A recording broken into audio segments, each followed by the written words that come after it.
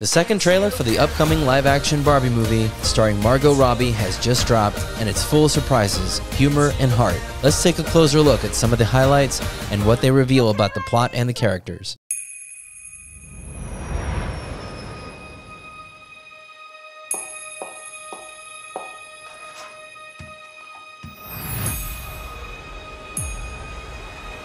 Hi, Barbie!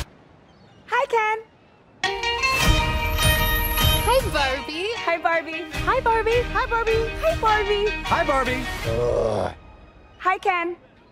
Hi, Ken. With the radio blast and goes cruising just as fast as she can now. I thought I might stay over tonight. Why? Because we're girlfriend boyfriend. To do what? I'm actually not sure.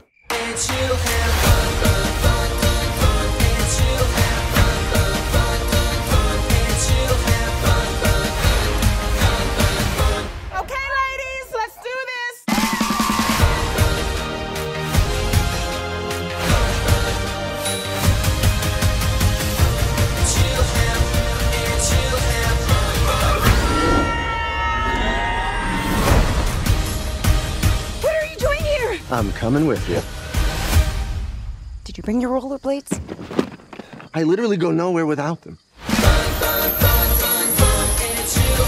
Oh, looks like this beach was a little too much beach for you, Ken. If I wasn't severely injured, I would beat you off right now, Ken. I'll beach off with you any day, Ken. Anyone who wants to beach him off has to beach me off first. I will beach both of you off at the same time. Beats both of us off? Nobody's gonna beach anyone off.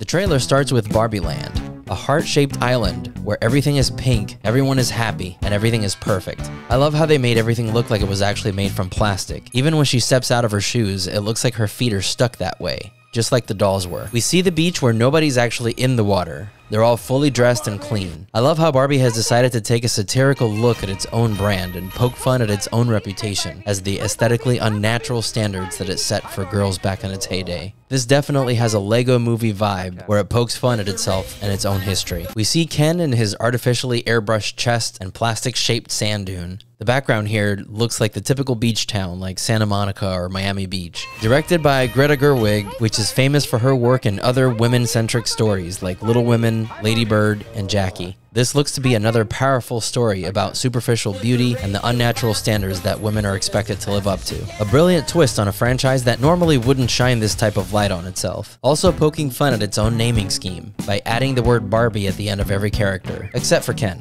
Her car looks more like a parade float than a vehicle, since she barely even holds the steering wheel. I thought I might stay over tonight. Why? Because we're girlfriend boyfriend. To do what?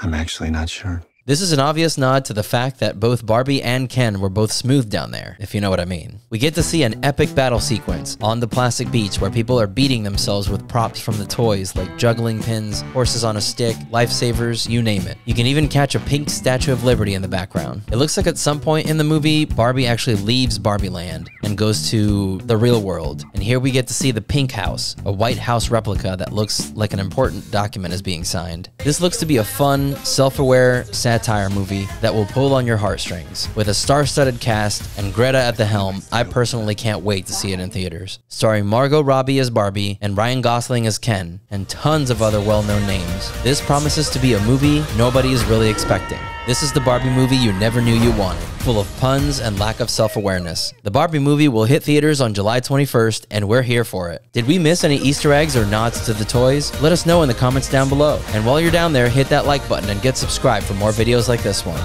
Until next time, this is Anthony for Blue Box Nerd signing out. Stay nerdy.